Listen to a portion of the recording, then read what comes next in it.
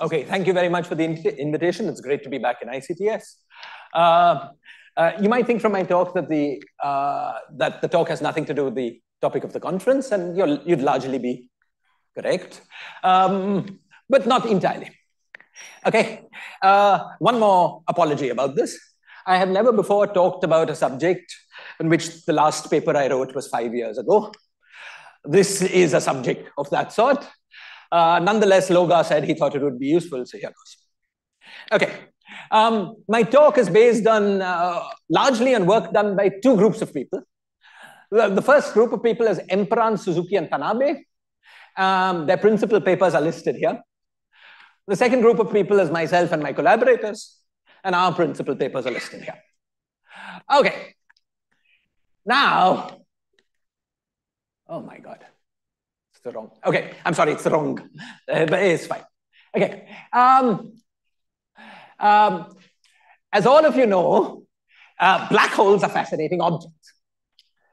Now, a remarkable thing about black holes is that the fascinating dynamics that black holes undergo are governed by simple equations that we know more or less without approximation. This is the equation, Einstein's equations of, of, of general relativity despite the simplicity of the governing of these governing equations, describes phenomena that are extremely complicated. In that sense, these equations are very much like the Navier-Stokes equations, which are simple but describe very complicated phenomena. Okay, now despite the simplicity of these equations, um, in many situations, for instance, when two black holes collide, we don't really have a handle, uh, an analytic handle on the dynamics of these equations um, often you are forced to go to a computer. And uh, for some, some of us, this feels unsatisfactory. Okay, so when faced with an interesting but intractable uh, problem, one strategy for progress is to change the problem by introducing a parameter in some, generally some natural way, uh, with the hope that while your problem may sit at a value of the parameter where the problem is intractable, you can move to another value of the problem, a parameter where the problem is more tractable. Okay, in this talk, I will adopt the strategy. Uh, in the main part of my talk, my parameter will be 1 over d, where d is the number of space-time dimensions. Okay, so uh, I will use this as my parameter, so I will move to studying black holes in very large space-time dimensions in order to make uh, this problem tractable. Um, but as a warm-up for this one, over d story, I'll first recall an older, and it will turn out, related context uh, in which a st similar strategy led to something interesting. Uh, this older context is something called the fluid gravity correspondence. Okay, so what's the basic idea there? Suppose you're in ADS space, okay, and you want to study Einstein's equations uh, with a negative cosmological constant. So these are equations that admit pure ADS space as a solution, and uh, many other many other solutions are solutions. Now, the simplest, as, as I've just said, solution to these equations is just ADS space. The next simplest solutions to these equations are a big black hole, uh, are a black hole sitting in ADS space. Now, if you take this black hole to be very small compared to the size of ADS, the black hole behaves very much like it's a black hole in flat space. You cannot tell that it's sitting in a curved space. One might wonder, does something you get something by taking the other limit, where you take the black hole and make it very large compared to radius. Make it, you know, make it as big as you can, make it very, very big. Maybe something, something nice happens at that limit. Um, it's a black hole. In the extreme limit, it becomes what we call a black brane. But for any finite mass, it's a black hole. It has an event horizon. General relativists would call it black hole. Okay, so in this limit where this RH is a measure of how big the event horizon is, RADS is the curvature of ADS space, um, we take this limit that the, the, size of the black hole is very large and then do some sort of uh, coordinate, coordinate uh, some related coordinate transformation. This effectively turns this black hole, as we were just discussing, into what people sometimes call a black brane. So what's a black brane? A black hole, like in flat space or a small black hole in ADS space, um, is a black hole whose event horizon is a sphere. We were looking at four-dimensional flat space. The event horizon is a two, uh, is a two sphere. In this limit, this scaling limit, the event horizon of this black hole has become effectively an R2. Okay, so it's translationally invariant event horizon. Excellent. Now, so what we've got from this, from this very large limit, one of the things we've got from this very large limit is replacing spherical symmetry by translational. Basically because you're effectively zooming in on a little patch of the sphere. Spheres become very big. Okay. Now, um, as you're familiar with, a classical question of interest in the study of black holes uh, is often the following. If I take the black hole, I hit it, I watch it settle down. What are the time scales for the settling down? Okay, the mathematical version of this problem is uh, formulated in terms of what, what are called quasi-normal modes. Okay, so given a black hole, a problem that is of physical and mathematical interest is what is the spectrum of quasi-normal modes, the spectrum with which uh, the black hole settle down if you hit it. Okay, in this context, quasi-normal modes are labeled not by spherical harmonics, but by momenta. Now, I'm just going to tell you a few things. It turns out that the spectrum of quasi-normal modes about a black brane has two different kinds of modes. There are a finite number, d minus 1 of modes, which have the special property. As k, you take k to 0 for these modes, the momentum to 0, the frequency of these modes goes to, go to 0. These are like massless modes in particles. Finite perturbations or infinite finite. I mean, they're just linearized perturbations around this. Um, they're labeled by momentum, so they're infinite in the in the in the translational direction. They're finite in the radial direction. There's finite energy, all good things. Okay. So these are like zero modes, like massless modes in, in a particle physical uh, physics context. And then the spectrum of quasi-normal modes has an infinite number of other modes. This infinity of other modes corresponds to like the analog of massive modes. These are modes whose frequency omega and also the imaginary part of the frequency of omega remains finite in the limit k goes to zero. So these are modes that decay even if they are very, very long in wavelength. Okay, now every time in physics that you have a situation where you've got a few light modes and an infinite number of many heavy modes, it's almost always the case that there's something to be gained by integrating out the heavy modes making an effective nonlinear theory of the light modes. You can do that in this gravitational context. We can integrate out the heavy modes, make an effective nonlinear theory of these light modes, and ask what is the effective equation of motion for these light modes? And the answer is something very nice. Turns out that the, if we're working in ADS D plus one, the answer is that the effective equations of motion for these light modes are, are the equations of hydrodynamics in d spacetime dimensions. Okay? The, this is for the perturbation, but non-linearly. It's not necessarily not necessarily that it's small. Okay. You just have to have it's the validity of this is as long as the wavelengths are large. Okay. The equation is del mu t mu nu equals zero, hydrodynamics, with t mu nu given by constitutive relations that determine the stress tensor in terms of thermodynamic data, in terms of a pressure, which is itself you can think of as being determined by a local temperature, and uh, a local velocity. Okay, the equations of gravity produce this equation for you. They produce the form of the stress tensor, including corrections higher at higher, higher orders and derivative expansion. And uh, uh, right, so this is the effective theory of these light modes in that context. Please. Sigma, sigma is a number. Uh, oh, sorry, sigma mu nu is the usually shear tensor, the shear tensor. Okay, so it's just symmetrized derivatives of velocities projected to be orthogonal to the velocity. Okay. Yes. Okay, uh, this too comes out of calculation, gives you the value of the viscosity. Okay, so it's, it's fluid dynamical equations with a particular viscosity. You got a higher order, particular other coefficients. This just is Einstein's equations, rewritten in this particular context. Okay, great. So what we've discovered is that if you take these very large black holes and you let them wiggle around at long wavelengths, they're described by the equations of hydrodynamics in one lower dimension. Quite amazing, right? Okay, let me emphasize a few points. Effective hydrodynamical equations, presumably, uh, you guys know much more about this than I do, but presumably define a well-posed initial value problem.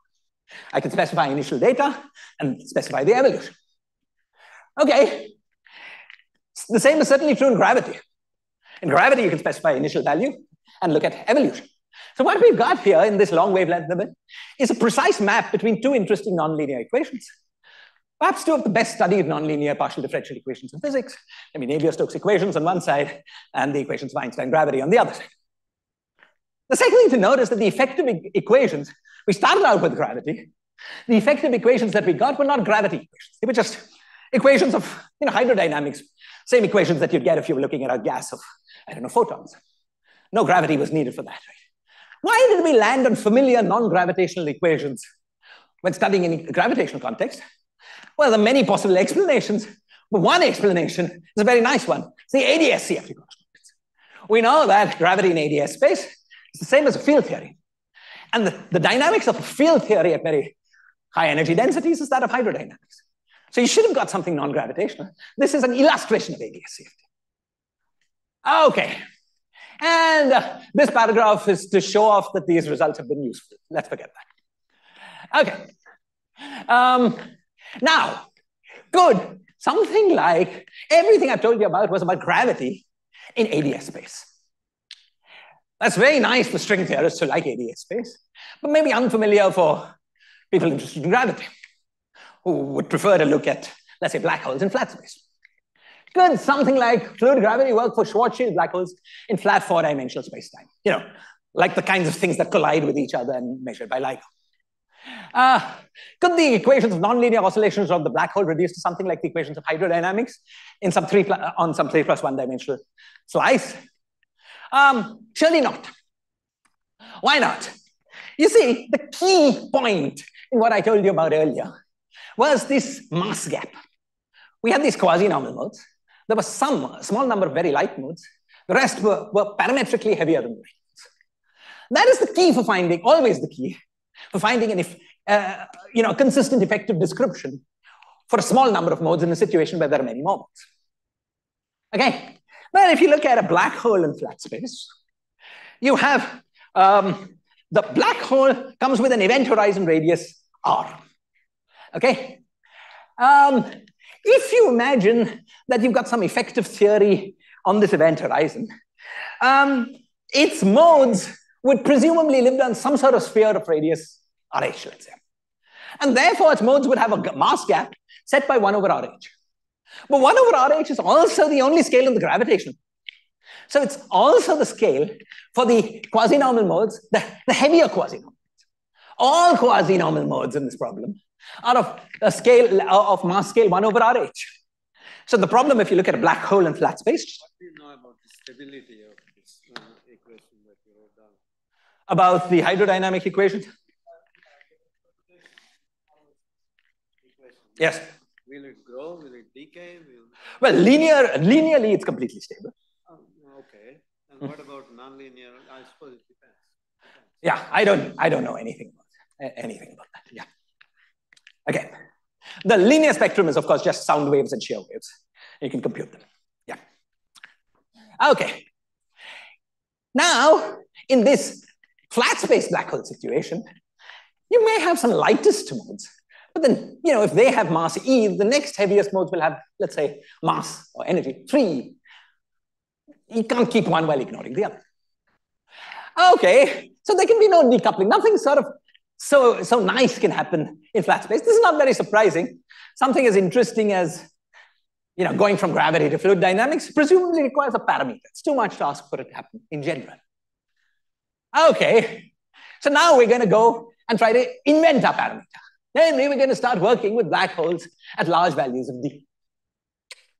Okay, so consider the d-dimensional Schwarzschild black hole boosted to velocity um. So um is just so, uh, you know, some d velocity. So it has both time and space components, squares to minus one. Okay, and we present metric for this black hole in coordinates that may be unfamiliar to some of you. The, what, called, what, are called Kerr-Schild coordinates, and with the coordinates that Kerr used in, in writing down the Kerr metric. Okay, so the metric of just a Schwarzschild black hole in these funny coordinates takes this form. This is a Schwarzschild black hole boosted so that it's four velocities un. Okay, now, Emparan, Suzuki, and Tanabe many years ago, almost, what, eight, seven, eight years ago, um, oh, more, more, 10 years ago, uh, made the following simple but key observations. First, if you look at this black hole, if you look at this metric, uh, notice that this metric becomes indistinguishable from the metric at flat space of flat space for any r greater than r naught in the limit that r by r naught is held fixed and is taken to infinity. This is simply because any number greater than 1 to the power infinity is infinity and 1 over infinity is 0. So this term just goes away and you're left with the term. Okay? So if you keep the ratio of r by r naught, how the ratio of how much beyond the event horizon you are fixed, take d to infinity, you don't see that you're, you've got a black hole at all. Okay, this is first observation. D greater than three or something. Um, oh, sorry, uh, Any dimension. any dimension, but I, I wanted to say that if you take, let's say r by r naught is 1.1. Okay, if d is 10, you see the tail of the black hole. But in the limit d goes to infinity, you just don't see it.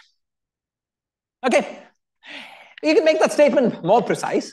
Suppose we take r is equal to r naught into 1 plus r divided by d minus 3. So we got a new coordinate such that our coordinate is not r anymore, but this capital R. Notice that capital R is tells you how far you are away from the black hole in units of 1 by d. Okay, 1 by d minus 3, but that's the same. One, d is large. Okay, now we keep r fixed and take d to infinity. So this means that as we take d to infinity, we're zooming in on the event horizon. So we're always staying a distance 1 over, 1 over d away from it. If we do that, then you plug that into, into this metric. Then instead of going to zero, this term goes to e to the power minus r. Okay? This tells you how near you have to be to the horizon in order to see it. If you're, you're you know, in large D, you're, you're looking at the horizon from outside, you just don't see anything until you come to a distance of order 1 over d from the event horizon. Then you start seeing that there's an event horizon. Okay. So the key point here is that there are two different length scales in black holes at large D. First, that's the size of the black hole, the Schwarzschild radius, R naught. That's a length scale. Second, there's the thickness of the event horizon, the distance beyond the event horizon that you have to be in order to actually see that you've got a black hole. That's R naught by D. So there are two effectively different length scales. Okay? Does the second length scale show up in anything dynamically interesting? So Emparan, Suzuki, and Tanabe in that same paper, answer, or maybe a subsequent paper, answered the, this question by computing the spectrum of quasi-normal modes, these quasi-normal modes we talked about. And what they found was that um, most modes, most quasi-normal modes, have an energy scale set by this length R naught by D. So their energies were 1 over R naught by D, and therefore D by R naught. But there were a finite number of light modes that were much lighter. Their energy was set by 1 over R naught. Okay? So now, when we've got this new parameter, namely D, we're in the same situation as Emparan, Suzuki, and Tanabe. Okay? Uh, sorry, we're in the same situation as fluid gravity, where we've got a few light modes, lots of very heavy modes. So once again, we can play the game of trying to integrate out the heavy modes and find the effective theory for the light modes. Okay. Um, yeah. Okay. Let me tell you what I mean by quasi-normal. Um, consider, um, let me say it in context of ADS space. I can also define it if you want in flat space. Say I've got a black hole. Okay? I've got a black hole which has some event horizon. A quasi-normal mode is just spectrum of the wave equation. So let's say if we were studying a scalar field, the wave equation would be del square phi equals zero. We look at the spectrum of this wave equation around this space-time. But now in order to give this to give the spectrum to make give that question meaning, we need to specify boundary conditions. The boundary conditions are that this thing is normalizable at the ADS horizon and ingoing at the black hole horizon. With these boundary conditions, this problem is mathematically well posed, has a definite spectrum. The, the, this is the spectrum of quasi-normals. So modes that obey these boundary conditions are called quasi-normals. In flat space, this normalizability at infinity of ADS space is replaced by outgoing at infinity. Okay? Physically, it's relevant because it governs the relaxation of a black hole back into the Okay. Other questions? Okay, great. Great. I'm giving you like two minutes about this. It's not very important, but let me, let me just give you two minutes about this. How this works. Consider any metric that is of the form uh, gmn is equal to eta mn times this stuff where rho is any function in ambient Minkowski space. Now, compare this to what we had here. If rho was this particular function, and if um, these u's here, were vector fields that happen to be constants, then this metric reduces to the metric we had. So in this metric, um is any vector field, and rho is any function of ambient Minkowski space. In the limit that, you know, in, for, in the particular case that um was a vector, was a constant vector field, and rho was that particular function that I showed you, we have, you know, that, that, that this configuration reduces to the solution for a spherical black hole. We demand that this u is a velocity field, that it squares to minus one. And uh, uh, we demand that it's orthogonal to the normal vector of constant rho surfaces. Okay, so this velocity field lives tangent to constant rho surfaces. Okay, but other than that, we allow these u and rho to be just absolutely anything. Now, everything I said about that earlier metric holds more generally for rho. Um, if rho minus 1 is much, much larger than 1 over d, then this metric is just flat space. Same argument as before. Okay? Now, now this surface rho equals 1 is special. Um, the surface rho equals 1 is special. It's going to turn out that eventually it will be the event horizon. This special surface has the property that when viewed as a submanifold of, the, of this dynamical metric, it's a null surface. Oh, wait a minute. Okay, here I've done the computation of the norm of this, uh, of the, uh, um, uh, of the normal to, to rho, rho equals one uh, in this metric. And because this is evaluated at rho equals one, this is zero. Okay, so uh, these two things are just algebraic facts. Okay, nothing very deep. Now, the remarkable result that requires work to show is the following.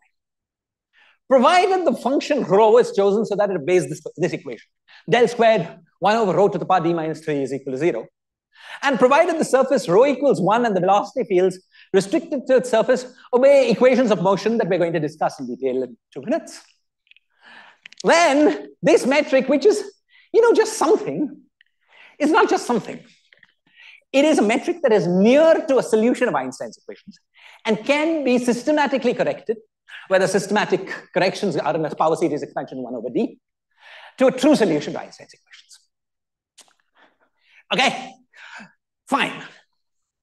As this process is iterated to higher and higher orders, where am I?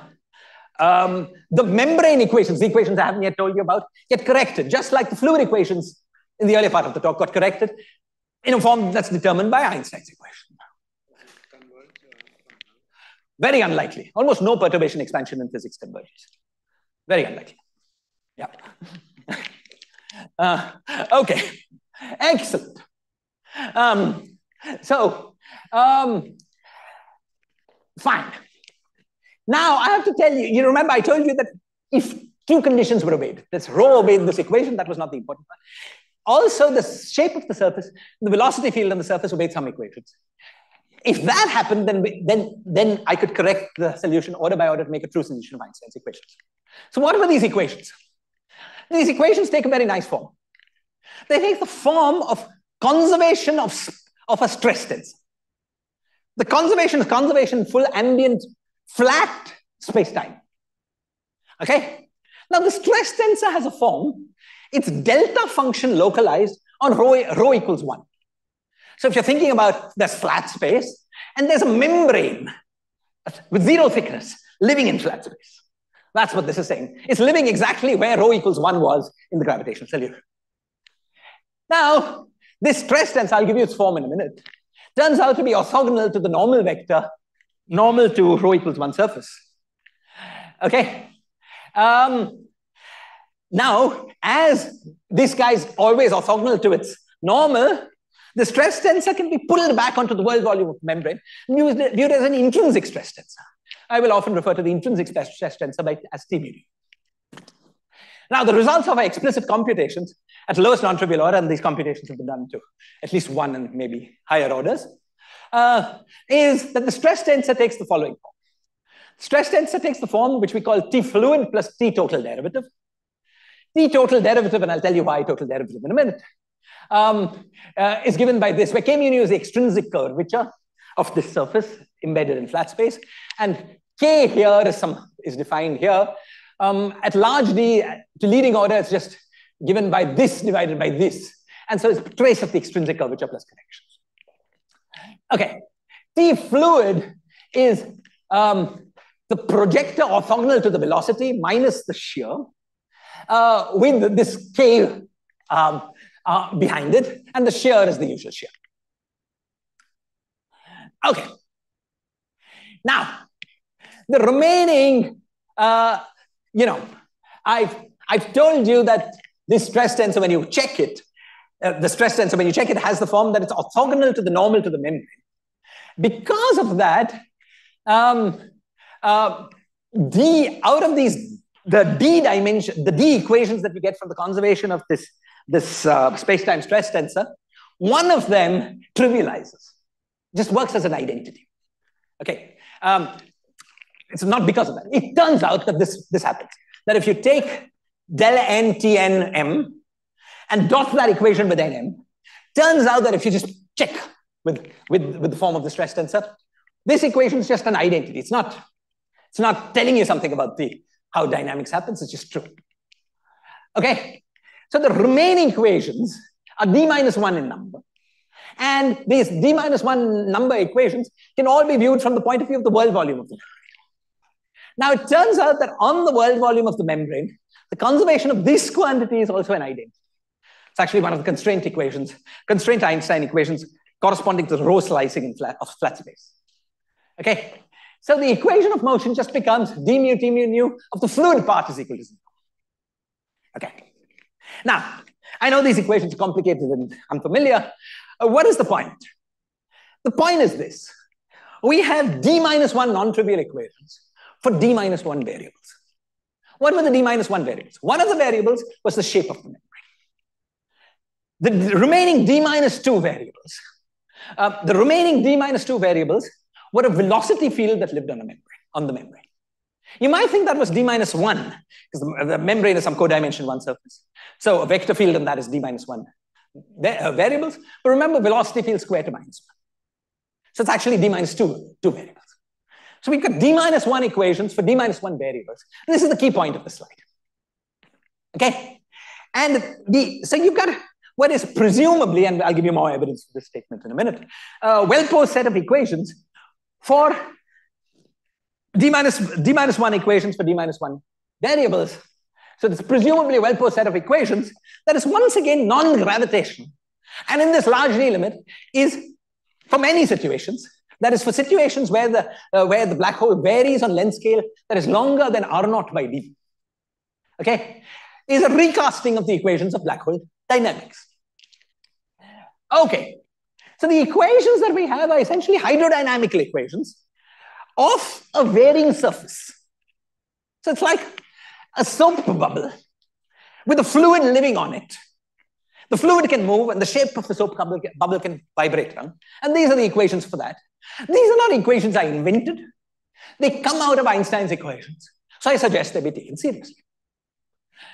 Okay, one odd feature of this, this please. Yeah, it's, uh, it's sort of incompressible. As you will see, the incompressibility, almost incompressible. Uh, this del dot u is not exactly zero, but is very small. This is 1 over d suppressed. Okay? Right. Um, it's one thing odd about this equation. You know, if you took a normal fluid, it would have an energy density, a velocity, and shape. Okay? In this fluid, the energy density is determined by the shape. This is familiar from black holes. Temperature of the black hole is set by extrinsic curvature. Temperature is a geometrical quantity. For fluids, it seems odd, but it's just true for, for this guy. Okay, so it's a funny kind of fluid. Its variables do not have an energy density, shape and velocity. Okay, I didn't order this, it came out of Einstein's equations. Fine. Okay. Yes. Um, I don't understand what you're calculating if you don't have fluid energy density as being being relevant. Fluid energy density. We've got something that has, it's like the, you know, something proportional to the uh, um, projector orthogonal to velocity. So this is a little like in the fluid situation would be like the pressure. Okay, it's just that the pressure is not an independent variable as it would be maybe in the, in, in the compressible things again it's not independent. In a relativistic fluid, pressure and, and velocities are completely independent variables. You can have temper local temperature fluctuations and fluctuations. Okay, here we've got the same kind of form, the same kind of stress tensor that you would get in hydrodynamics. Okay, just that we've got a formula for the pressure, the effective pressure, in terms of the shape of the membrane. Is, is this clear? Yep. So it's very fluid-like. And you will see in a minute how much more fluid-like it becomes. I'll have to skip much of what I have and just get to the main point. Okay. Um, uh, just two, three things. Fluid dynamics is usually equipped with an entropy current that tells you that the second law of thermodynamics and fluid dynamics works locally. This fluid here also has an entropy current. Uh, we see that by taking this equation, del mu t mu nu is equal to zero and dotting it with u. Since that was zero, the dot, dot product of that with u nu is also zero. And when we work this equation out, turns out that it takes the form del dot u is equal to this guy. Okay? The important thing about this guy is that's positive difference. It's a perfect square. Okay? And because of that, we it is tempting to, and I'll tell you we have to, identify this, in fact, this by four, as the entropy current associated with this fluid. Okay? Once you make that identify, identification, you get del dot J is equal to some dissipation term, which is sigma square. Again, very familiar from hydrodynamics. Now, why did I make this identification, in particular, this identification with four? What I did was take Hawking's area increase theorem uh, for black hole event horizons. We know that in black holes, the local area element is the entropy. I took Hawking's area increase theorem, and I just pulled it back to this flat space membrane. And the, the, the, area element gave me what, what the entropy current should be on this membrane. And they gave me the U with the four. The four there was, you know, the same four in Hawking-Bekenstein formula. Okay. Okay. Okay, excellent. Let's keep going. Um, these, these, these, these, these, uh, one, one last thing and then I'll get, I'll get to the point. I'll skip most of the other stuff. Uh, one last thing and I get to the point. Last thing is this. Um, I found these solutions of Einstein's equations order by order in 1 over d. You can ask, where were these solutions valid? Turns out these solutions were valid when rho minus 1 is much, much less than 1. Not all the way to infinity. However, the solution of the black hole becomes very close to flat space for rho minus 1 much, much greater than 1 by d. So you see, there's two, two places where you can solve the equations. When rho is much, much less than 1, you solve using our techniques. When rho is much, much greater than 1 by d, you can solve linearizing gravity. There's a region where both these approximations are valid, and you can match solutions where both are valid, and use that to see how much this membrane motion leads to radiation.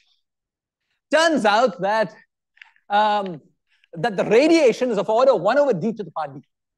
The fact that radiation is so small explains why we could get local equations for a horizon uh, in gravity. If radiation had been significant, stuff happening here would have gone non-locally and affected stuff happening here, you couldn't have got local equations. The fact that, that radiation is non-perturbatively small explains why there was an effective decoupling of the horizon with everything else. I said so. Okay, uh, let me just let me just get to the, to the point I really wanted to make for this talk. Uh, yes, okay, this is what I really wanted to make. These two points. I'll make these two points and stop here. Okay, now in this talk, and I've gone very fast, I apologize. Um, in this talk, I've reviewed two distinct physical situations, which reduce to hydrodynamic, uh, gravitational situations, which reduce to hydrodynamic-like equations. One was large black holes in ADS, bearing slowly on length scale compared to, let's say, one over the temperature of this black hole. The second was just ordinary black holes, black holes in flat space, but this easily generalizes to ADS space. Okay? with whose variation can be much faster, just small compared to 1 over the uh, Schwarzschild, uh, uh, small, uh, small compared to the, sorry, large compared to the Schwarzschild radius divided by d. Since d is very large, this is much larger regime of validity. Okay. Now you might ask, is there a connection between these two things? If the answer is yes. If you do, uh, if you look at the fluid, if you look at um, uh, a situation where fluid gravity applies in large that's also a situation when, in which these membrane equations apply in large. Okay? And I want to explain that to you here and I'm done. Okay? Um, okay. So this was ADS space, yeah? I, sorry. This was ADS space, yeah? And consider configuration where R, the height of the event horizon is a function of where you are. And, um, okay, uh, sorry, let me start again. I've got ADS space. And imagine that I've got this flat, you know, black brane type of, type of uh, object in ADS space.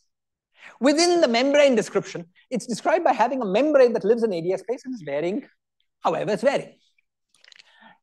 Okay, now working out this membrane configuration, one can calculate the boundary stress tensor of the membrane configuration, essentially by doing this radiation type com computation. You can compute the boundary stress tensor and thereby identify the fluid from the fluid gravity correspondence. Okay? Now, the fluid and the fluid gravity correspondence was labeled by a temperature and a velocity. This membrane here is labeled by some shape, r as a function of x and a velocity. You can find the coordinate change that turns the membrane equations into the fluid equations. Okay, we've done this very, very, uh, uh, very, uh, uh very precisely in our work. So in this context, when you put these membranes in ADS these membrane equations are actually just a field redefinition, at least at largely, at least a field redefinition of the ordinary Navier-Stokes equations on the, uh, uh, on the fluid boundary. Okay, now these two equations are, the same within the validity regime, but the membrane equations use variables that are much more flexible than those of the boundary fluid. This is because, you see, suppose you've got a membrane configuration that looks like this. Okay, a membrane configuration that looks like this. Such a membrane configuration corresponds from the point of view of fluid gravity to a singular fluid configuration because fluid dynamics requires a particular location of the horizon at every point underneath the boundary. From the point of view of the membrane equations, it's perfectly fine. Okay? However, where their domains of validity overlap, these are the same equations. What this suggests to me is that these, these membrane equations here are more flexible, use variables that are more flexible than those of Navier-Stokes equations. They allow you to describe configurations which would look singular from the point of view of the fluid equations, but actually are non-singular when viewed in these equations. Okay, so this suggests an, an interesting possibility to me. The possibility is that it, it might be possible, in fact, might well be possible, to turn on initial conditions for, for these relativistic Navier-Stokes equations that in a finite time ev evolve to what looks like a singularity from the variables of the Navier-Stokes equations, but actually is a fake singularity. It's possible to analytically continue past the singularity by moving to the correct variables of the problem, which in this context will be the membrane variables. I don't know if this makes any sense. And it's only for relativistic fluid dynamics, but it reminds me of this million dollar Clay prize. I thought I would end. Okay, uh, that's it. Uh, let me go to the, uh, let me go to the summary and discussions. Yeah. Thank you very much. Thank you very much for the presentation. Uh, Srini, please.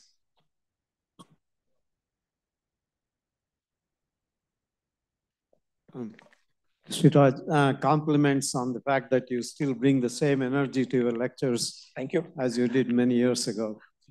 Uh, the, um, there is an analogy between uh, fluid flow and uh, membranes uh, this is pretty well known in very simple circumstances in using between theory of elasticity and uh, fluid dynamics. I'm not sure that it has any any. What are the variables of the membrane in that context? Um, I forget now, Okay. but I will I will send you something Thank you very much. on Yeah. It's a textbook material actually, Hmm. but I'm I'm sure the geometry is much uh, simpler and more. No, it, it would be ni- eh, nice to know anything that people know. Yeah. But I want to ask you a very friendly question. Please. Uh, your discovery that the Navier-Stokes equations are contained in Einstein's equation. Um, what does it tell me as a hydrodynamicist that I should know from a hydrodynamics point of view? It's a very friendly question. No, no, way. absolutely. Uh, taken very friendly. Yeah. Uh, I have no clue. Uh, I mean, what should it tell you? Um, I, you know, we tried, we and other people tried to make use of that. Maybe Amos, Amos also tried to make use of this correspondence to say something new about hydrodynamics. Not sure that was a very successful uh, enterprise. Um, I mean, the most interesting part of that, that, that duality was the structural aspects, that these two equations actually are the same. Yes. Beyond that, I've not, maybe Amos or Loga, have you come? Oh, let me say one more thing. It was very useful. Let me turn to that brag paragraph. It was very useful in understanding the structure of the equations of hydrodynamics. Okay. Um, you know, this is not the kind of question you're interested in, but let me tell you anyway. Okay. Um, suppose you've got a relativistic fluid. You want to know the equations of hydrodynamics are del mu T mu nu is equal to zero. T mu nu is determined in terms of pressure and velocity. You want to know uh, order by order in the derivative expansion. You want to know what are the constraints and terms that can come at 50th order in the derivative expansion. Okay? You know, Landau Lifshitz works it out to first order. Maybe somebody's worked it out to second order. Usually got it wrong. Um, what can you say about, uh, about this, this expansion as a structural expansion? You know, one that you can continue.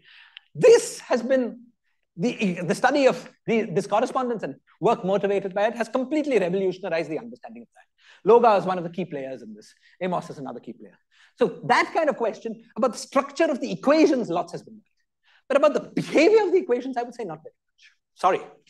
Yes. Yeah.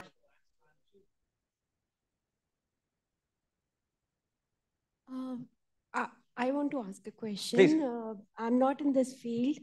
So I wanted to know, uh, in reply to Srini's question, you had mentioned that these are all stable modes. So, So uh, stable meaning the decay. linear. Linear. Uh, but what about the Chandrasekhar-Friedman Schutz mechanism, where he talks about uh, a dissipative kind of instability when gravitational radiation radiate away, that induces an instability? Where does it all stand with respect to? Okay. Uh, first, I don't know about this instability, but I suspect that what you're talking about, see, as you said, what, what you're talking about requires this radiation. So now in both situ in any situation where radiation is non-trivial, our system, this gravitational system will not reduce to hydrogen. And the reason for that is very, very simple. Okay, it's that the equations that we have are local. Now, if radiation is important, what's happening here sends radiation here and starts affecting what's happening here.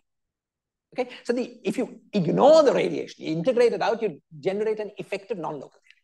In our systems, radiation is not important uh, for two different reasons in the two different contexts. In the first context, it's because our black holes are so energetic that their event horizon has gone, in some colloquial sense, very near to the boundary of ADS. There's not enough space for you to radiate. We're in ADS space, not flat space. In the second situation, you're in flat space. But because we're in large D, radiation is suppressed like uh, 1 over d to the power d. And that's, you know, we're working in an expansion 1 over d. So 1 over d to the power d is a non-perturbative expression. It's ignored. So the, any effect concerning radiation is not, not accounted for here. Okay, then I would like to thank you once more, the speaker. Uh, and we're moving on to the last talk of this session.